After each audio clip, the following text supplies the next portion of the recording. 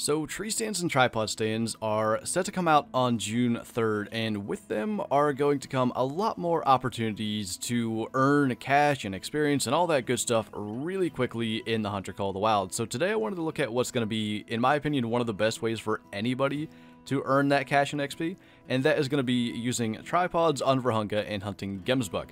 And Red Deer were actually my first choice but then I remembered that you have to be, I think level 29 to unlock the Red Deer Caller, whereas it's a much lower level to unlock the Antler Rattler, which will call in Gemsbuck. So you do have to have Weapon Pack 1 for this exact thing. The normal bow will work just fine, and that you unlock pretty early in the game as well.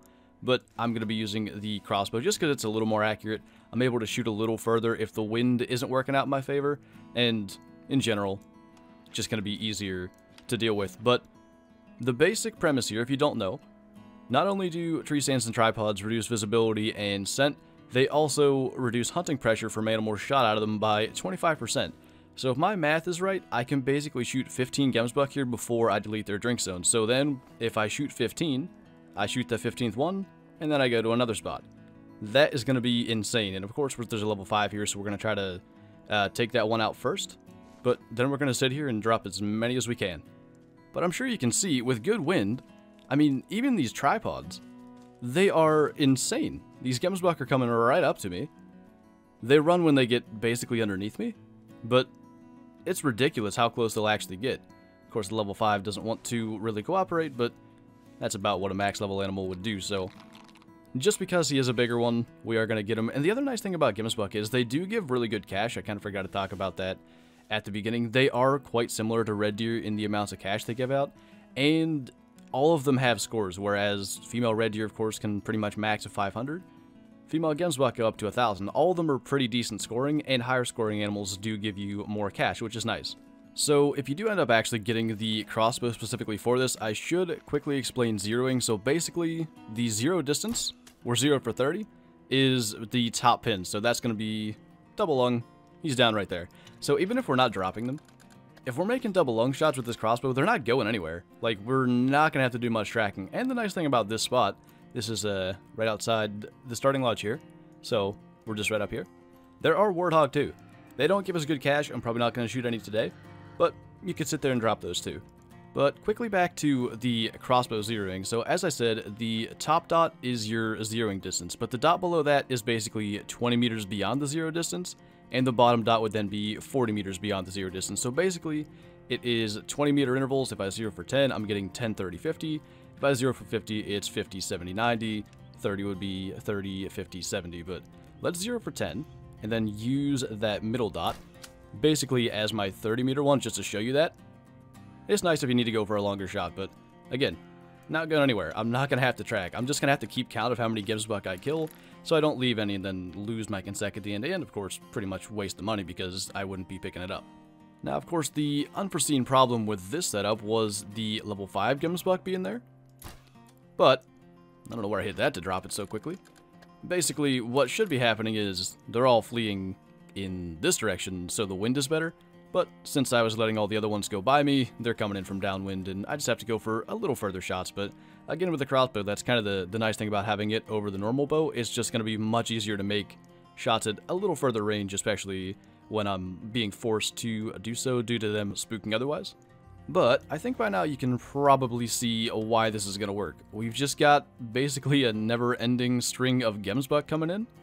And as long as I make decent shots, which somehow I've managed to make two perfect drop shots in a row, I'm just going to sit here and basically collect money. I've been recording for 13 minutes, and a good chunk of it was walking over from the lodge. Now, I should say, if you're trying this on beta, and I don't know if they fixed it yet, uh, tripod stands weren't, and tree stands for that matter, weren't actually staying on the map if you left. So I've got tents there if I were to crash or leave the game, I can just spawn at that tent and place the tripod. Because one other weird thing that's been happening is basically I am, like, if I were to fast travel to this tent, nothing would be here. It seems like I have to leave and then come back, and then the animal spawns, so I walked over from the lodge, just so, I mean, you can prove that obviously you don't need the tent, but it's definitely useful, at least for working around that little bug that seems to be happening. And this would actually work using a rifle as well. Like, I could sit here and I could take all those ones across the water and just use the tripod's advantage of not having nearly as much hunting pressure and pretty much do the exact same thing. But the advantages of using the bow, number one, I do think animals come back sooner if you use a bow. I might be wrong about that. Maybe it's just me trying to attribute things to the, the tripod and all that that maybe aren't there. But the other side of it is animals that are maybe, I don't know, 60 meters away, Gemsbuck that are coming back, they wouldn't have heard that, and they're just going to be back that much more quickly. So you're a little more efficient. Again, as long as you're making decent shots with the crossbow, which, as I hopefully have shown, is not that difficult, it definitely is more efficient than using a gun. But in the interest of showing that you can pretty much just do this on a much larger scale than just using one spot, let's just pretend we've shot all 15 of our Gemsbuck, and we don't want to delete this zone. So we're going to claim everything here, go see if that level 5 was a diamond, and then we are going to go to one of the other spots that I set up quickly just to, again, show that you can pretty much have multiple setups and just get ridiculous amounts of money in not much time. Again, I'm like 15 minutes into this, and a lot of it's been walking over, as I said. So that was, I guess, the second biggest one, 834. But, by the way, 1400 cash for a pretty much small gold Gemsbuck. Like, they give really, really good cash amounts. And I think this then is our 5, if I'm not mistaken. It is, and he's just a big gold. 933, but he's 1400 cash. The cash amounts you get from these guys are ridiculous, and I should have shown on a female. I don't think I have any down, but we're going to another spot, and I'll show you uh, what the cash is from one of them. I guess while we're running down here, I should actually mention what the setup for this is. So with Gemsbuck, they drink from 4 a.m. to 8 a.m. and at nearly every lake on the map. I don't think I've ever had Gemsbuck at this lake, and maybe not this lake, but literally every other lake on this map, I have seen Gemsbuck drinking there. So you pretty much find a lake, you find a zone, and then you put a tripod somewhere near enough to the zone that you can just call them to your tripod if you're not close enough to just catch them as they go by. And it's pretty much as simple as that. If you're switching spots, change the time back so you're not going to have them uh, leaving the zone, and you're good. It's, it's a very simple setup that gets insane cash. So we've made it to our next spot, and I'll go ahead and show that uh, on the map quickly in case you're curious where I'm doing this. But same exact idea. I'm going to climb in the tripod, I'm going to just call these ones over from the zone, and then every time they spook, if they go back over there, I'm going to call them in. If they go back by me, I can just take them. But it's this lake kind of in the bottom middle, probably the furthest south lake, actually. It's a really good spot for Gemsbuck. You get a lot of them there. And like the first lake, Warthog are pretty common there. Uh, you get Jackal here, Rabbits. You can shoot a lot of stuff. Again, not as good money as the Gemsbuck, but you could probably maybe be a little more efficient with the amount of animals you're taking. So XP could be definitely something worth looking at doing it that way. So it would pretty much always be a good idea to try to take the bigger ones, because of course they will give more cash.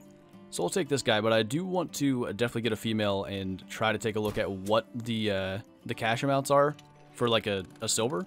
Because I'm not entirely sure, but it's still a really high number compared to pretty much anything else you could take in the game that would be silver.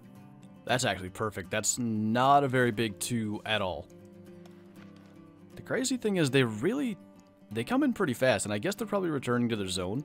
But a lot of animals take their time coming into a call, so this is also more efficient doing it that way. So we'll just take that one there. And... Is that one going to spook? I don't know. Oh, it might be stuck. No, it's not stuck. Alright. Well, if it stops again, or I guess I can just call it back. I should range that and make sure I'm not going to mess up a shot and have to track one, but yeah, that was about 50. Can you go broadside again? I think it's going to. Probably. Mm, that looked good. Yeah. Got it in the lungs. Just gotta remember that one's over there. So I'm trying not to call because I just spotted actually a level 4 uh, female, which could be diamond, and we might as well try to get that. Ooh, that was, well, it looked far back, but I guess I got the back of the lungs because he went down really quickly, but the idea here is I don't want to call in the level 4 because it's going to be way slower, but if it wants to just trot into the zone, it should get there a lot more quickly, so she is Probably that one that we can't spot, but yeah, we're gonna we're gonna try to get that, and then we'll probably wrap it up. I kind of think she might have gotten herself in a spot where she just doesn't know how to get down the hill. because all the other ones are just going around, and she's just kind of standing there. So I think in the interest of time, I'm probably to take her with the 338, even though I wanted to uh, use the crossbow for this. I think we'll just take her down. Now, I do need to, number one, take a look at the cash from the level 2, which might have been this one. And also, I need to make sure I pick everything up so we're not going to, like, lose consec at the last minute. But that's a level 2 giving 1,254 cash for a 668 silver. That is why I think the Gemsbuck are going to be maybe the best cash farming animal in the game. As I said, red deer are also really good. There's bigger herds of them, but there might be more spots here on Vurhonga to where, as long as you've got a couple of setups, you can probably equal the amount, if not beat the amount of red deer you get in the same amount of time. You know, you keep experimenting with it, you find more uh, areas, you're only going to get better and more efficient. So, yeah, if you're watching this after tree stands and tripods are officially out, let me know in the comments how that's working out for you. Hopefully nothing's changed with the way they work, because right now, it is going to be the way to earn money, to earn experience, to level up, all of that stuff. And as I said in the last video, I think respawns as well. You could be looking at a pretty good opportunity to do this with any animal, really, uh, for something you want a diamond on. If you want a diamond Gemsbuck, do this. If you want, I don't know, a diamond whitetail, do the same idea but with whitetail. I think it could really work out. And that is unfortunately another big gold, 945. And interestingly, I wonder if the weight is actually what impacts the total cash. Because that's a higher score than the male we had earlier, the level 5, but it's a lower cash. So that might be a thing. In that case, males might be the way to go all around, but taxidermize that anyway. And that is going to do it. So thank you guys for watching, and I'll see you next time.